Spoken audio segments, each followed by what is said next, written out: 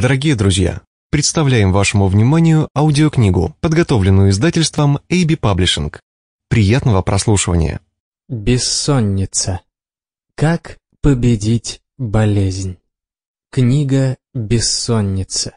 Как победить болезнь» является уникальным практическим пособием, которое доступно и понятно рассказывает о нарушениях сна, о средствах борьбы с данной проблемой. Книге изложено много практических советов по борьбе с бессонницей. Дыхательные упражнения, лечение травами, физические нагрузки, гимнастика, полноценное питание, правильный режим дня. Кроме этого, вы узнаете, что относится к нарушениям сна, найдете подробное описание причин бессонницы, а также познакомитесь с перечнем эффективных психотерапевтических техник. Данное пособие предназначено не только для пациентов, давно страдающих от расстройства сна, но и для людей, которым необходима профилактика данного заболевания. Глава первая. Что такое бессонница? Бессонница. Как она проявляется? Хронический недостаток сна, который вызывается бессонницей, негативно сказывается на работоспособности человека, а также способствует развитию определенных заболеваний. В некоторых случаях могут обостриться хронические болезни, которые ранее находились в стадии сна.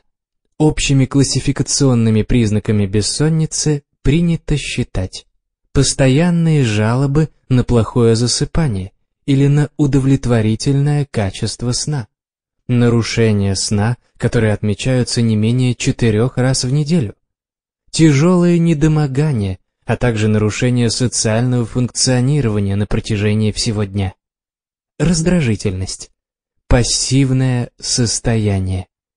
Временами проявляется агрессивность даже в самой незначительной беседе.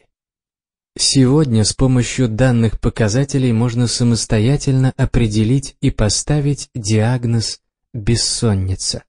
Самое главное, что данное заболевание эффективно лечится не только с применением медикаментозных средств, но и при помощи физических упражнений. О профилактике бессонницы вы узнаете немного позже. А сейчас поговорим о том, какие причины возникновения заболевания существуют. Причины возникновения бессонницы. Причины возникновения бессонницы могут быть совершенно разные.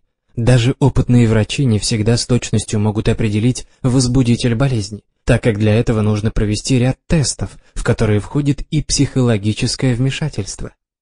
Далее мы рассмотрим наиболее частые причины, которые мешают нам высыпаться. Самый главный фактор, который преследует людей по жизни, это стрессовые ситуации, в основном они связаны с выраженным эмоциональным переживанием. Различные депрессивные состояния, которые сопровождаются постоянным и непрерывным чувством тревоги. В большинстве случаев человек не может понять, что с ним происходит, и на уме навязчивая идея, не дающая спокойно и рассудительно мыслить. Недостаточная физическая и умственная активность. К примеру, если вы постоянно находитесь за компьютером, причем не занимаетесь полезным и интересным делом. Неправильный, несбалансированный режим питания.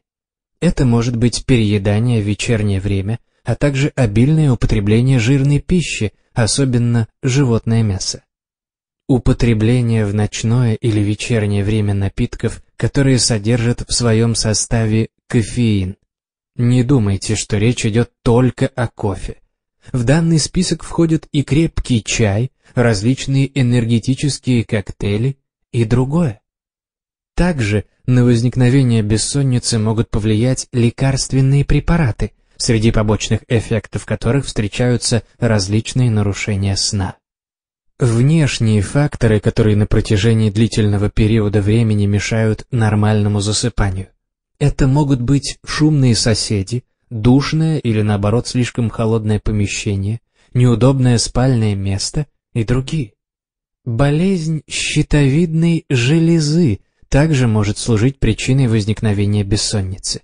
она сопровождается высоким у... Sample complete. Ready to continue?